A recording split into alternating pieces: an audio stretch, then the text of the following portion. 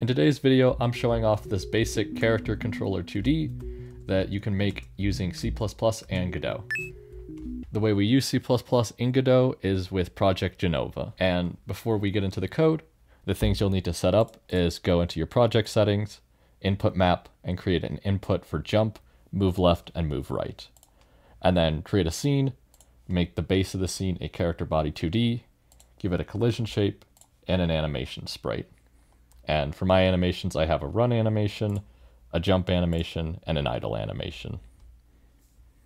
So if we go into our code then, which is attached to the character body, we have three variables that we'll declare, speed, jump velocity, and our animation. Animation's a pointer to animation sprite, which we'll set later. And then these two I set to 130 and negative 300, but they could be any value. Now in our onReady, we get a reference to this node, and then we use this node.findChild and we call animation sprite 2D and we set that as our animation. Then inside on physics process, we get this node, we get the velocity of this node, and then we get the singleton of input and we store that as input. And then if this node is not on the floor, we will increase its velocity by gravity times delta. And then if input action just pressed is jumped, and we are on the floor, we add our jump velocity. So this handles all of the Y inputs. So this is for jumping and falling.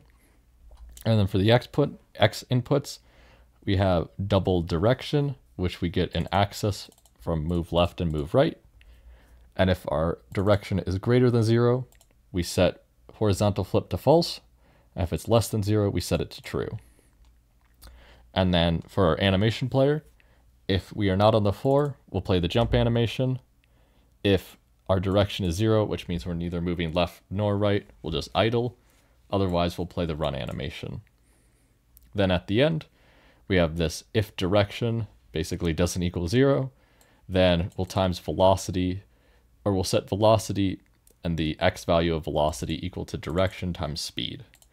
Otherwise, if the direction is zero, then we will do, run this code here, which basically just if the x value of velocity is greater than zero, we subtract speed until we hit zero.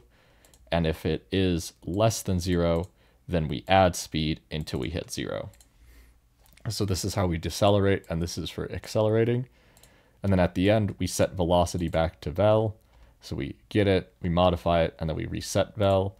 And then this node dot move and slide. So it's a very simple controller you can add to your Godot projects.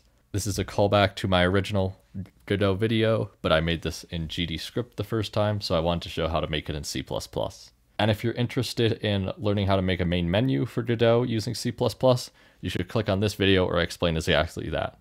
And until next time, see ya.